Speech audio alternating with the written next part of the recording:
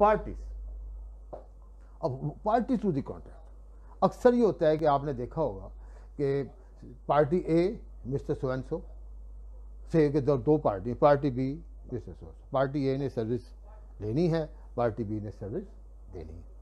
अब क्या हुआ? अब उन्होंने कहा, एक आगे एक एक्सटेंशन लिखी होती है which expression shall include successors administrators legal heirs आप देखें, एक एक पार्टी कंपनी है, प्राइवेट लिमिटेड कंपनी है, एक पार्टी इंडिविजुअल है। अब क्या उसमें, क्या रेलिवेंट है? अक्सर हम लोग उसको टिक करते हुए देखते हैं, उसमें सक्सेस भी है साइनिस भी हैं। क्या are you permitting the assigns if but I what I am saying if you are permitting the signing you must know it you must know it फिर अकॉर्डिंगली जो आप डिस्कस करें, वैसे लिखें फिर आता है जी इसमें प्रियम्बल अच्छा वेयर एज अब जो स्टार्ट हुआ तो अक्सर हम लोग कहते हैं वो ठीक है आई मीन है उत्तर से जब मैं देखता हूँ ना ऐसे देखता हूँ। प्रियम्बल क्या है? Preamble must reflect the to true intention of the party it must reflect कि आपकी जो इंटेंशन है ना वो पार्टी की उसको उसमें बड़ी क्लियर और, और वाजह होनी चाहिए। और फिर उसके बाद प्रेम्बल इसको देखिएगा। अक्सर वेयर एज, दो चार एक मेरे पास कॉन्टैक्ट आया, मैंने देखा कि भाई उसमें तो whereas whereas, where and whereas and whereas, लग गया लग गया लग गया आखिर पता नहीं लगे होना की है। बड़ा clear brief preamble is not everything in the contract obviously preamble is one thing जिसको आप सम टाइम अगर ऐसा प्रेम्बल बन गया है, जिसके नीचे कोई क्लॉजेज आई हैं, बाद में ऑपरेटिंग क्लॉजेज और उसमें कोई कॉन्ट्राडिक्शन आ गई है तो रिमेंबर दिस थिंग तो भी आप देखेंगे, ये कब, ये ये चैलेंज फिर आया जी इसके बाद कंडीशन प्रेसिडेंट अगर आप समझते हैं कि कोई आपके पास कोई कंडीशन प्रेसिडेंट है कि पहले ये होगा वेयर एज एक लैंड अभी एक, एक आपने की है एक you are going to enter into a contract for a project उस प्रोजेक्ट पे क्या जी project is going to be build on a land party A is going to purchase the land और और फलां जगह पे लैंड होगी फिर उसके बाद पार्टी बी की सर्विसेज़ आएँगी। इसका मतलब कि इस कंडीशन प्रेसिडेंट जब तक वो लैंड नहीं होएगी आपका प्रोजेक्ट ही कोई नहीं। आपके कोई राइट्स ऑब्लिगेशन किस हद तक अक्रू होंगे जब तक till the time that condition precedent is bat और अगर नहीं बैट वाट विल हैपन तो ये चीज़ बहुत क्लियर होनी चाहिए। ऐसा ना हो कि एक पार्टी अपनी पूरे की पूरी ऑब्लिगेशन उसको एक्सेप्ट कर ले वेरा दूसरी पार्टी ने जो कि उसकी कंडीशन प्रेसिडेंट थी for entering into the contract कि before entering into the contract कि वो फलानी लैंड फलान डेट तक ले लेगा it must be very much clearly specified condition subsequent you know it once once this happen फिर अगली क्या है, एक बार लैंड आपकी खरीदी गई है, फिर हम कहते हैं कि नहीं जी आप ऐसे करें, दूसरी पार्टी ने फिर उसके ऊपर कुछ इन्वेस्टमेंट कर ली बिफोर इट इज़ कंसिडर मैं आपको एक रियल स्टेट प्रोजेक्ट की बात उसने इन्वेस्टमेंट करेगा फला उसको लैंड करेगा दूसरी पार्टी उस पर इन्वेस्टमेंट करेगी, उसका जो फ़र्स्ट इसका डिज़ाइन है, वो हम अप्रूव कराएँगे। ऑब्वियसली जब वो हो जाती है, फिर एक प्रोजेक्ट की हम तो वो भी whatever condition one condition two subsequent follow up condition obligation ये थोड़ी इमीडिएटली आफ्टर दैट मैं समझता हूँ कंडीशन प्रियम्बल के बाद ये लाजमी कर दी जाए। Subject to condition precedent conditions subsequent, as envisaged in paragraph number 3 other terms and conditions of the contract or as agreed between the parties shall be as follows. तो इसको बड़ा कर riding clause riding clause is not always we are not saying always riding clause but riders आपको पता है writing this over right करती notwithstanding anything contain in this contract ये ये ये ऐसे होगा। वो वो बिल्कुल राइटिंग करती, सबको स्वीपिंग क्लास कर देती है। वो अगर है please read it I am not saying कि ये चीज़ होनी चाहिए, ये चीज़ नहीं होनी चाहिए। आई एम ओनली सेइंग अगर है, आपको पता होना चाहिए इसका फैक्ट क्या है।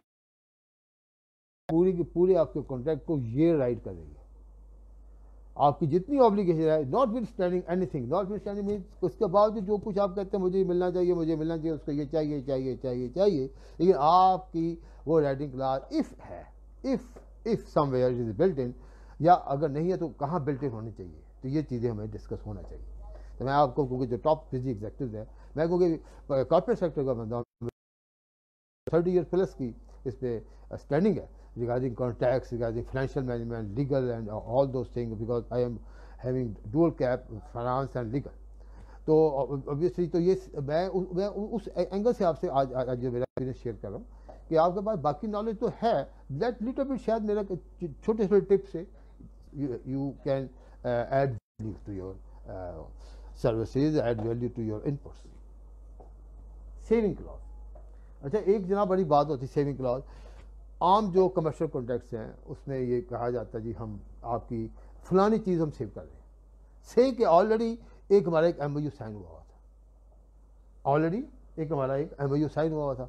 हमने कहा जी, ठीक है जनाब, जो एम साइन था कुछ हमने पेमेंट भी की हुई थी, कुछ एम के, आज जो नया कॉन्ट्रैक्ट एलेबरेट कर रहा है, हमारी नई टर्म्स एंड कंडीशन कर रहा है। क्या हम उसको वहीं ख़त्म करना चाहते हैं? और नई सिरे से पार्टीज़ के दोबारा आगे चल या हम उसको सेव कर रहे हैं कि जो अब तक हो गया, या जो एज पर एम हो गया, वो वहाँ तक सेव है, उसकी पेमेंट या जो ऑनवर्ड होना है।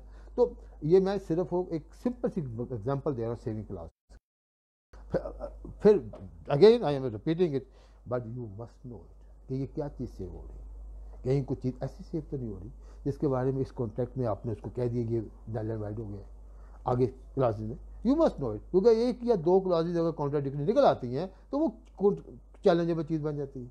जब चैलेंजेबल चीज़ आती है, आपने इतनी बड़ी जो बिल्डिंग उस कॉन्ट्रैक्ट पर खड़ी की थी बिल्डिंग है ना जी? कॉन्ट्रैक्ट क्या है? एक डॉक्यूमेंट है। एक आपकी private limited company public limited company एक डॉक्यूमेंट पर खड़ी है, जिसको सर्टिफिकेट इनकॉर्पोरेशन कहते हैं, जिसको फिर मेमोरेंडम आर्टिकल एसोसिएशन साथ बिल्डिंग के साथ। तो एक डॉक्यूमेंट पे जो जिसको जिसको हम कॉन्ट्रैक्ट कहते हैं, उसमें पूरी बिल्डिंग खड़ी अब you are going to invest somebody is going to invest on that. You are going to hire the people. You are going to make so many uh, uh, empire on that. तो better be careful better we know it तो हर बंदा वकील तो नहीं होता ना ना हर चीफ एग्जेक्टिव को वकील होना चाहिए। या अपने वकील साहब को भी अगर आप कॉन्ट्रैक्ट भिजवाते हैं तो आप यू मस्ट नो कि वकील साहब भी जो है ना वो जो कमर्शियल टर्म्स आपने बिल्टन की हैं तो शायद उनके पास उनको समझने में एक थोड़ा सा टाइम चाहिए होगा। आपके बंदे वहाँ जाएँगे, उनको समझाएँगे, फिर देखेंगे, फिर वो उस पर समझेंगे। लेकिन जो आप लोग अपनी अपनी सीट पे बैठ के काम कर सकते हैं, ये जो हमारे यंग लॉयर लॉयर्स हैं तो ऑब्वियसली वो जो कर, जो जो अपने क्लाइंट को इनपुट दे सकते हैं, वो भी ज़्यादा कॉन्टैक्ट की बुलेट्स को समझेंगे। तो ये मैं बता रहा हूँ कि हंड्रेड परसेंट कॉन्टैक्ट तो पढ़ना ही पढ़ना है, लेकिन इन क्लासेज को तो आपने मोड पर्टिकुलरली चेक करना है। ताकि अगर आपने बहुत कुछ नहीं देखा, काम से इन क्लासेस को देखने के शायद आप, आपकी काफ़ी सारी एम्बिग्यूटीज जो हैं, या कुछ चैलेंजेबल रहता है, फिर एक चीज़ चैलेंजेबल नहीं बनेगी या इन्फोर्सेबल होगी उसके जो डिस्प्यूट्स हैं या राइजिंग ऑफ़ द डिस्प्यूट्स के जो चांसेस हैं कम से कम हो सकते हैं। आप सब हमें पता है की ले रहे हैं की दे रहे हैं। What is the consideration in lieu of services or the provision of the uh, supply of the supply or whatever consideration is there? Price rate ये तो इस पर तो हम सब बड़े क्लियर होते हैं। कि मिलना कीजिए। हमने देना क्या है? एंड पेमेंट टर्म जो आपकी तय हुआ है ना उसको मेक श्योर sure कि वही चीज़ इनकॉर्पोरेटेड उसमें कभी ये ना करें जी हम आ, आ, आ, अच्छा जी कुछ चीज़ें बाद में देख लेंगे जी। वो within it it shall be payable within the period of sixty days within the लफज आता है। Within the period sixty days अब विद इन का मतलब तो पहले दिन भी हो सकता है।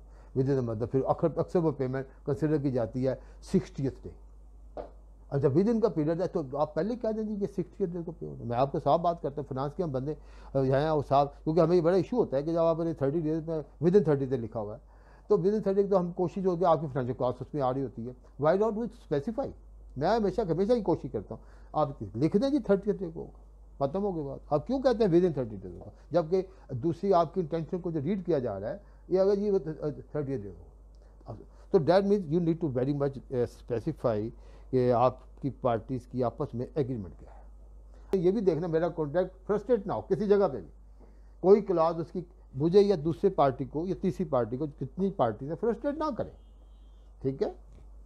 यही हमारे आज के सेशन का बड़ा मकसद है। अच्छा सर अब देखिए, जब पार्टी मैंने एक जगह कॉन्ट्रैक्ट बनाया कॉपी पेस्ट किया ऑब्वियसली मैं आपको साफ़ बता रहा हूँ, पंद्रह साल पहले मैंने जो थोड़ा मुझे एक और जगह मैं ऑब्वियसली मैं ऐसे सीनियर पोजीशन पे था तो मुझे, मैंने कहा, जी कॉन्ट्रैक्ट है, मैं बना लेता हूँ। कॉपी पे थोड़ा बहुत कर करा के हमने कर दिए तो देन ऑब्वियसली फिर मैं नहीं होता है कि आप किसी लीगल एडवाइज़र को भिजवा दें। मैं लीगल एडवाइज़र साहब को बुलाया हमारी मीटिंग हुई तो उन्होंने बड़े आराम से, बड़े प्यार से, मेरा कॉन्ट्रैक्ट था मिस्टर याहिया बुखारी, पार्टी जो है, पार्टी का नाम था, mister A Bukhari chief executive officer of Impex limited having registered office